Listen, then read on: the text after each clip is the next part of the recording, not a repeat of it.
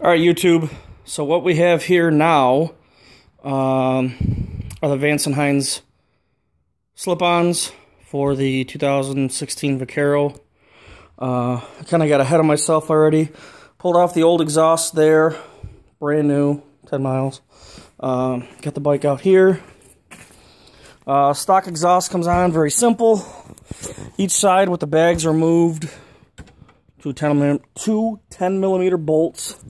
And then down there, you'll see, I do believe that is a 10 millimeter uh, bolt as well. You loosen that clamp up and then that uh, left side muffler, got to give it a little wiggle and it comes right out.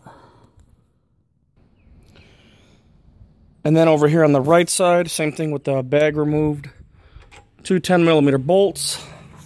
Uh, on this side, you have to loosen this heat shield and then down underneath you'll see another clamp.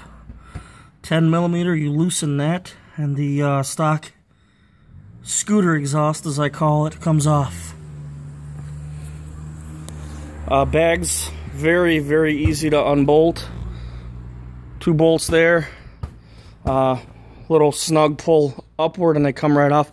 There's a clip kind of like a u-shaped clip that slides down in there so just be careful when you reinstall the bags that that's on there. What's up? How you doing? Uh, I'm all right.